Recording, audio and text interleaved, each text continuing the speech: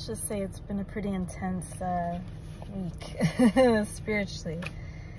And so, yes, there is there's much to to discuss, as that was said yesterday, but we are not going to be able to talk about it all.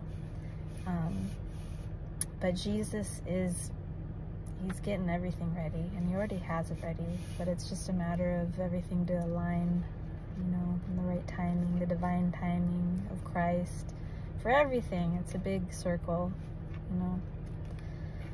And Jesus, he loves his children. Like, I wish that everyone could know it. Like, I want everyone to know it because it's such a sweet, innocent love. So grateful. So, the title of this page is Not Ashamed.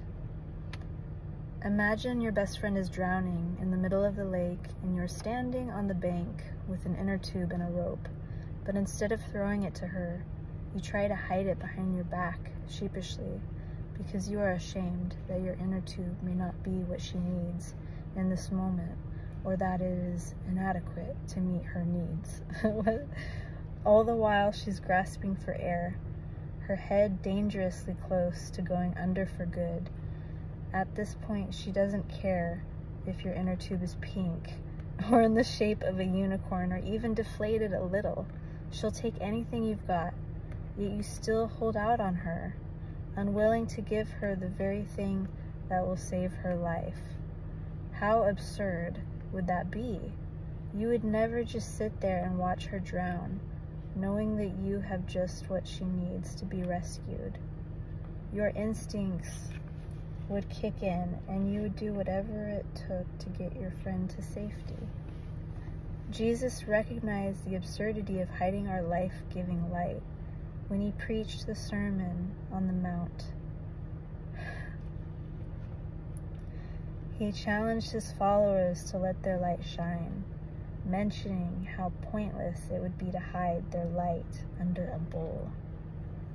The Apostle Paul echoed this message when he said,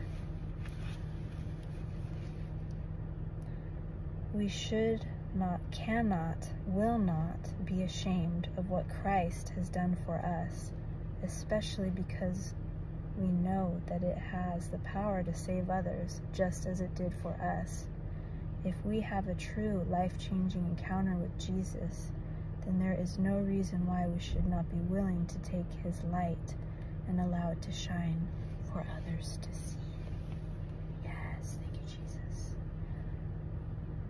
This is Romans chapter 1, verse 16. I am not ashamed of the gospel because it is the power of God that brings salvation to everyone who believes. Jesus, we are not ashamed of what you have done for us. Thank you for your gift of salvation and embolden us to shine for you, Jesus.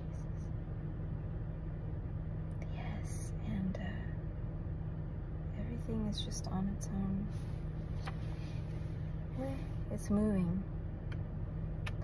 And it's like literally the train, the Zion sign on the train. Spiritually, God showed me that it was like boarding a train and to to get to the Holy Land, and is that is done spiritually through the kingdom. But physically, there are going to be changes. There's going to be a shift, and so this is the shift of the physical matter in areas that it's currently not. And it's like, it's a balance. It's something, I mean, if you think of it in metaphysics, it's like, switches. So it's something that's, it's like science fiction. like, that's what it is. It's like, I don't even know. Anyway, but God has the plan and He knows everything. And we have pieces of the plan. And, you know, we're just following God's way. And, you know, any shortcomings that we had, any things that we did that were, you know, blasphemous to Jesus, He forgave us because we are repenting and we are forging a path toward Him in truth. And this is the this is the way for the people that are in this season, like who are getting on the train to Zion. It's kind of like you've just been through it so much that you have no other choice. It's been Ascension. Ascension. Thank you, Jesus. Yes, it is true. It is true. All right. This woman must move on to do other things for her children. but I love you all, and I just I pray to God that the Holy Spirit, you know, fills your life, every aspect of it, every part of it. That it's just you are blessed by Jesus. You know, from any darkness. I pray to God that that darkness is removed in Jesus' name, for there is only truth, love, and light in this person who is watching now, so they are able to ascend and heal with Christ. Thank you, Jesus. God bless you. Mwah.